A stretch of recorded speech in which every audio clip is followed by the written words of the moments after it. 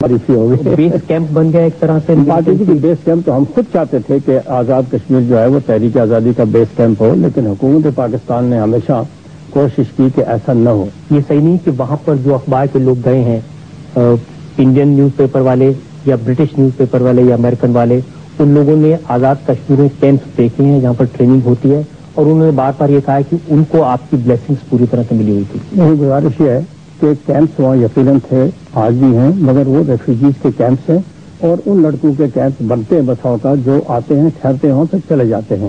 وہ کیمپ انہوں نے دیکھے ہیں لیکن ایک ایک نے رپورٹ دی ہے کہ کوئی ٹریننگ کیمپ ایسا سچ آزاد کشمیر میں نہیں ہے۔ سزا صاحب یہ سچ نہیں کہ جو اسلحہ ملتا ہے جو اے کے فورٹی سیون ملتی ہیں جو گرینیڈ ملتے ہیں ان کی سپلائی آزاد کشمیر سے ہوتی ہے؟ شرما جی کہنا اچھا نہیں لگتا۔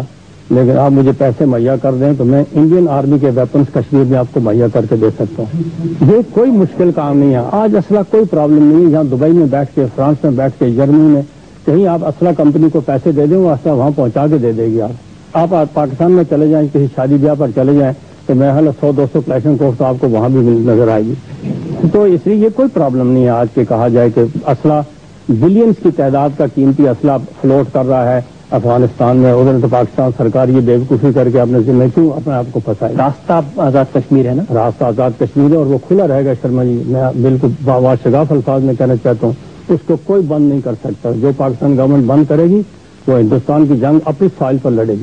اور یہ اگر کوئی کر سکتی ہے گورنمنٹ تو بڑے شوق سے کرے وہ ہم بند نہیں ہونے دیں گے جب تک اٹراسٹیز وہاں جاری تو آپ کو یہ ایکسپٹ کرنے میں کوئی ہیزیٹیشن نہیں ہے کہ آزاد کشمیر کی سرزمین کا استعمال ملیٹنٹس کو اسلحہ دینے کے لیے اور ان کو آزاد کشمیر کی سرزمین کا استعمال ہر کشمیری جو آزاد کشمیر کا رہنے والا ہے یا آکوپائڈ کشمیر کا رہنے والا ہے اس کا پیدائشی مادری حق ہے کہ اس زمین کو استعمال کرے اور یونائٹڈ نیشنز نے اس کو یہ حق دیا ہے۔ یہ حق ہندوستان و پاکستان نے نہیں دیا۔ وہاں پر لوگ آئیں نوجوان آئیں ان کو ٹرین کریں ان کو بندوق دیں۔ کریں نہیں۔ اگر وہ ٹریننگ کہیں لے سکتے ہیں تو لیں۔ میں نہیں ٹریننگ دیتا ان کو۔ میرے ماتحت کوئی انتظام نہیں ہے ٹریننگ لینے کا۔ لیکن اگر کوئی ٹریننگ لینا چاہے آزاد کشمیر میں کم از کم ڈیڑھ دو لاکھ ریٹائرڈ سولجرس ہوں گے صرف میرے ضلع میں ایک ضلع میں ہوں گے۔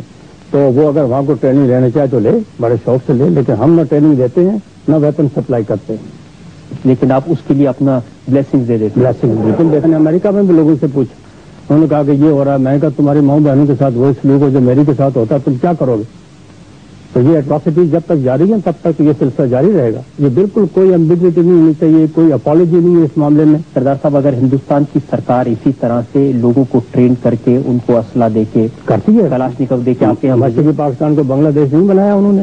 کراچی میں جو ہو رہا ہے اس میں سرکار شامل نہیں ہے ٹرین سب ورسز شامل نہیں ہے۔ یہ ان کا کیا دھرا ہے سارا؟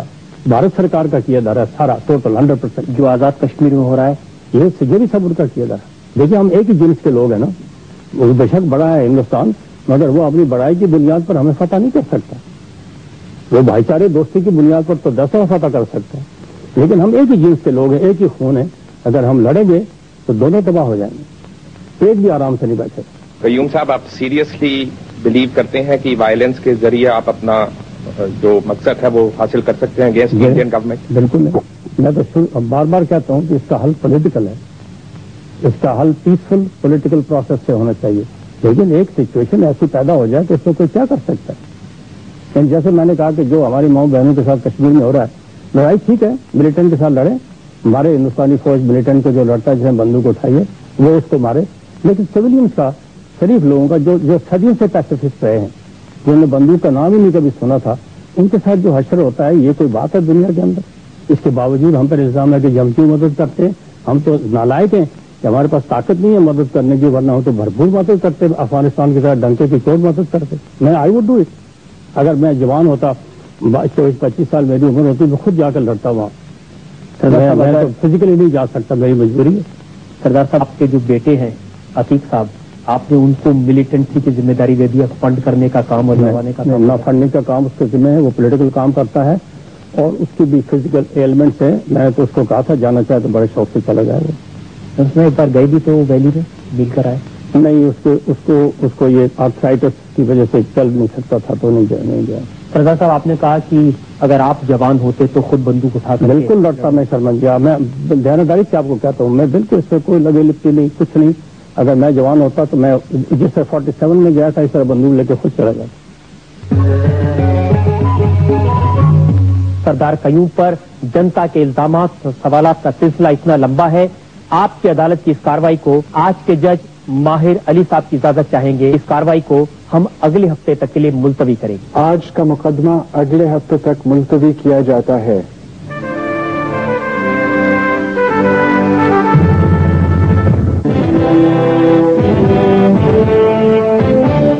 پچھلے سپتاہ آپ کی عدالت میں ہم نے پیش کیا تھا آزاد کشمیر کے پرائم منسٹر سردار قیوم کو۔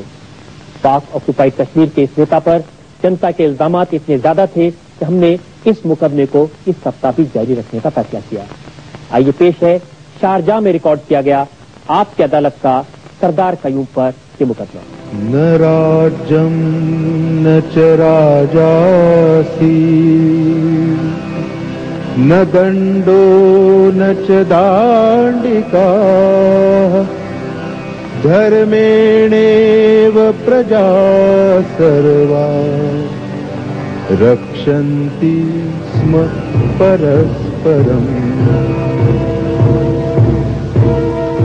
پاکستان میں آزاد کشمیر اور ہندوستان میں آکوپائڈ کشمیر کہے جانے والے اسٹیٹ کے پرائم منسٹر سردار قیوم جنتا کی عدالت میں حاضر ہو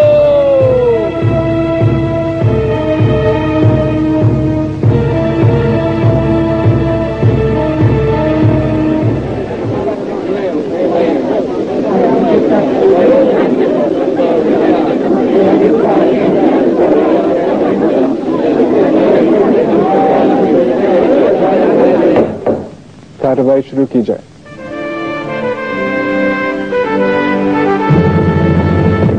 سردار محمد عبد القیوم خان کشمیر کے اس حصے کے پرائم منسٹر ہیں جسے ہندوستان میں پاک آکیپائیڈ کشمیر اور پاکستان میں آزاد کشمیر کے نام سے جانا جاتا ہے۔ 1947 میں جموں اینڈ کشمیر کے قبضے کے لیے ہوئی لڑائی کو لے کر سردار قیوم کو ڈوگرا رولرز نے ٹریٹر کہا۔ دوسری طرف پاکستان میں انہیں مجاہد اول کہا گیا۔ پاکستان کے ادھکار چھیتر والے کشمیر کے پرائم منسٹر سردار قیوم کو ہم نے پچھلے سبتہ آپ کی عدالت میں پیش کیا تھا۔ اس سے پہلے کہ سردار قیوم آپ کی عدالت میں اپنی پیروی شروع کریں، ہم ایک نظر ڈالیں گے پچھلے سبتہ کے سوالات پر۔ آزاد کشمیر کے پرائم منسٹر کے روپ میں آزادی کا دعویٰ کرنے والے سردار قیوم پر آروپ لگایا گیا۔ یہ پاکستان سرکار کے ہاتھ کی کٹ پتلی ہے سدا صاحب یہ سچ نہیں ہے کہ اسلام آباد میں جو سرکار ہوتی ہے اس کی کنوینئنس ہو تبھی پھر آدمی وہاں بیٹھ سکتا ہے۔ دیکھیے یہ بات ماننی چاہیے کہ اگر پاکستان سرکار ہمارے اتنے قریب ہے اور ہمارے معاملات اس طرح کے ہیں ان کے ساتھ کہ ان کی کنوینئنس کا خیال رکھنا بہت ضروری ہے۔ لیکن صاحب یہ سچ کہ جو کانسٹیٹیوشن ہے سنویدھان ہے جی ہاں۔ آزاد کشمیر کا جی۔ اس کے تحت کوئی بھی آدمی پرائم منسٹر ہو یا پریزیڈنٹ ہو یا پھر ایم ایل اے ہو، اس کو پاکستان کی سرکار کی جو آئیڈیالوجی ہے، اس کو ماننا ہی پڑے گا۔ یہ پاکستان سرکار کا قصور نہیں ہے۔ اگر یہ قصور ہے تو میرا ہے۔ کیونکہ میں نے انیس سو اکہتر میں جب میں پریزیڈنٹ ہو گیا، تو میں نے آئین میں یہ شک داخل کی تھی۔ میں بلیو کرتا ہوں اس بات پر کہ آزاد کشمیر اگر اسٹیبل نہیں ہوگا سیاسی طور پر تو اس کا بہت نقصان ہوگا دونوں طرف نقصان ہوگا۔ تو اس لیے کیسی اسٹیبلٹی ہے صدر صاحب کی؟ سرکار آپ کی ہو لیکن اس میں چیف سیکرٹری کون ہو یہ اسلام آباد ڈیسائڈ کرے۔ جی پولیس کون ہو یہ اسلام آباد ڈیسائڈ کرے۔ مگر نہیں وہ ڈیسائڈ ڈیسائڈ وہ نہیں کرتے وہ ڈیسائڈ ہمارے مشورے سے کرتے ہیں۔ اور یہ اس لیے کرتے ہیں کہ یہ تعلق اگر نہ ہو تو پھر ہم بالکل علیحدہ ایک علیحدہ ایک اینٹی بن جائیں گے۔ اور علیحدہ اینٹی اگر بن جائیں تو پھر وہی فساد اور وہی جگہ لڑائیاں ساری شروع ہو جائیں گے جیسے کہ بنگلہ دیش میں ہوئے اور اس سے پھر ڈسٹربنس ہو جائے گی۔ جنتا کی اور سے سردار قیوم پر ٹیررزم کو سپورٹ کرنے کا الزام بھی لگایا گیا۔ پہلی بار اگر بندوق اٹھائی تھی کس نے کشمیر میں تو آپ نے اٹھائی تھی؟ جی، میں نے اٹھائی تھی بالکل صحیح بات۔ تو یہ مانے کہ خون خرابے کا سلسلہ شروع کرنے کی ذمہ داری آپ پر ہے؟ ہم نے جو بندوق اٹھائی تھی اس میں کسی قسم کی کوئی دہشت گردی شامل نہیں تھی اس کے اندر کوئی ذاتی مقصد شامل نہیں تھا۔ وہ ایسی تحریک تھی جو جو ہم پر مسلط کی گئی اور اس کے جواب میں ہم نے بندوق اٹھائی۔ آپ یہ ایکسیپٹ کرنے میں کوئی ہیزیٹیشن نہیں ہے کہ آداز کشمیر کی سرزمین کا استعمال ملیٹنٹس کو اسلحہ دینے کے لیے اور ان کو آزاد کشمیر کی سرزمین کا استعمال ہر کشمیری جو آزاد کشمیر کا رہنے والا ہے یا آکوپائڈ کشمیر کا رہنے والا ہے اس کا پیدائشی مادری